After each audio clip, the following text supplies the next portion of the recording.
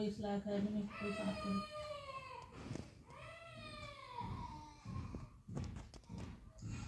Thank अभी